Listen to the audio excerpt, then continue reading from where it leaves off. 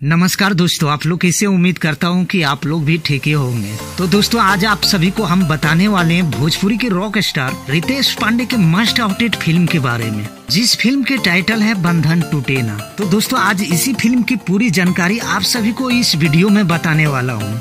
Film आप सभी के नजदीकी सिनेमा घरों में कब रिलीज़ होने वाले हैं? तो दोस्तों, यह वीडियो काफ़ी इंटरेस्टिंग होने वाली है तो वीडियो के लास्ट तक बने रहें। और जो लोग अभी तक मेरा यूट्यूब चैनल को सब्सक्राइब नहीं किए हैं तो सब्सक्राइब कर लें। क्योंकि भोजपुरी के हर खबर इस चैनल पर सबसे पहले आता है। तो दोस्तों, चलिए शुरुआत करते हैं। तो जैसे कि आप सभी को पता ही होगा कि आपके भोजपुरी के रॉक स्टार रितेश पांडे के एक से बढ़कर एक फ़िल्म हम सभी के बीच आ ही रहे हैं, जो कि दर्शकों ने ढेर सारे प्यार और दुलार दे ही जा रहे हैं। और दोस्तों, इसी बीच एक और नई फ़िल्म का पोस्टर लॉन्च कर दिए हैं, जिस फ़िल्म के टाइटल है बंधन टूटे ना, जो कि यह फ़िल्म एक पारिवारिक फ़िल्म होने वाली है, और यह फ़िल्म बहुत ही ज़बरदस्त और शानदार होने वाली है। तो दोस्तों, आप सभी को बता दें कि इस फ़िल्म के निर्माता है अमर सिंह, अविनाश रोहरा और समीर आफ्ताब और निर्देशक है देव पांडे, और वही संगीत है ओम झा का, और गीत प्यारे लाल यादव का। तो दोस्तों, अगर बात करें इस फ़िल्म टेलर के रिलीजिंग डेट के बारे में तो जी हाँ दोस्तों, यह फ़िल्म के trailer S